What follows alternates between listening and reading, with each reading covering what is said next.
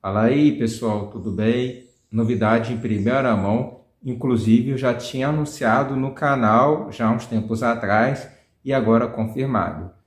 Chegando os primeiros VIP 5 da empresa Brasil Lisboa, como havia falado anteriormente, duas unidades, chassi Mercedes-Benz OOF 1519 Bluetech 5 com ar-condicionado é a, prime é a primeira leva da, da empresa Brasil Lisboa do Rio de Janeiro.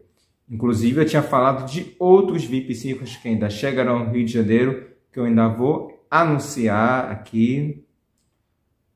Da Pavonense, vamos aguardar, porque também foi o que foi, que eu, foi a informação que eu recebi. Temos que aguardar, não tem jeito.